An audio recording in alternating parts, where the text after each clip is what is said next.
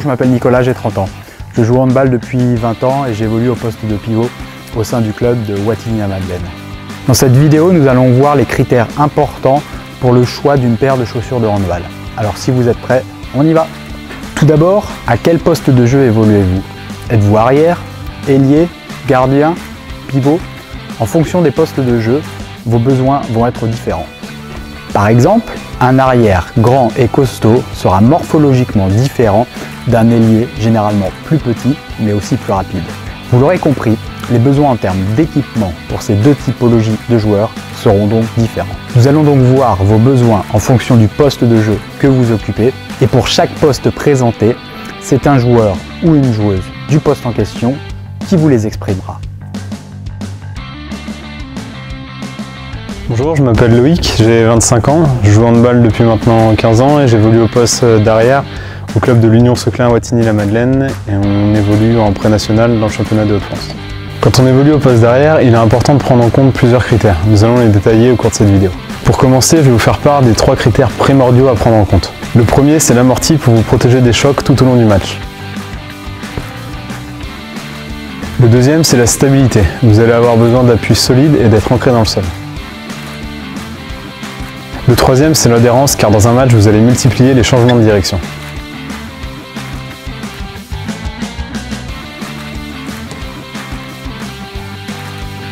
Il est important d'avoir une semelle qui absorbe les chocs, car en tant qu'arrière, vous multipliez les courses, les sauts, et chaque réception engendre des chocs. L'absorption des chocs se fait grâce à une mousse EVA. La mousse EVA est la partie blanche que vous pouvez voir sur la semelle. Toutes les chaussures que nous proposons pour arrière disposent d'un bon amorti. Si vous êtes un joueur plutôt costaud, préférez les modèles haut de gamme qui possèdent un amorti plus important. Critère numéro 2, la stabilité. Il est important d'avoir des appuis stables tout au long du match. En attaque comme en défense, vous allez avoir besoin d'être solidement ancré dans le sol. En attaque, cela va vous permettre de résister à un défenseur qui essaie de vous neutraliser. En défense, cela vous aidera donc à neutraliser un attaquant. La stabilité est offerte par une large semelle à l'avant. Cela maximise la zone de contact avec le sol. Cette stabilité est également offerte par une plaque en plastique au niveau du médio-pied qui rigidifie la semelle. Sur certains modèles comme l'aérocharge du Mel, il existe des renforts latéraux qui optimisent encore plus la stabilité au sol. Critère numéro 3, l'adhérence. L'adhérence est importante pour favoriser les changements de direction. C'est le matériau de la semelle extérieure qui va assurer l'adhérence. Le caoutchouc utilisé doit posséder des propriétés d'accroche optimales. Chez Kempa, les ingénieurs ont travaillé avec la marque de pneus Michelin pour développer un caoutchouc qui offre une très bonne adhérence. Respirabilité. Ici, nous avons la Race X de Salming. La tige de la chaussure est réalisée avec du mesh qui laisse passer l'air.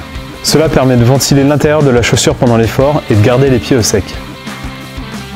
Maintenant le maintien avec la Viper de chez Salming.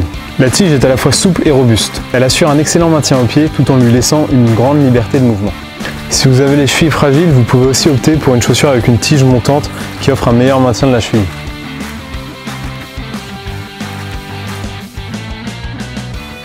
Si vous voulez retrouver l'intégralité de mes chaussures, vous n'avez qu'à cliquer dessus.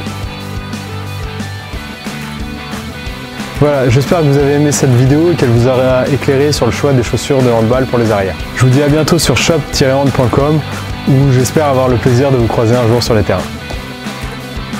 Si vous voulez approfondir vos connaissances pour tel ou tel autre poste de jeu, vous pouvez visionner nos autres vidéos. Pour cela, rien de plus simple, vous n'avez qu'à cliquer ici pour voir les descriptifs complets pour les arrières, ici pour les ailiers, ici pour les gardiens et ici pour les pivots.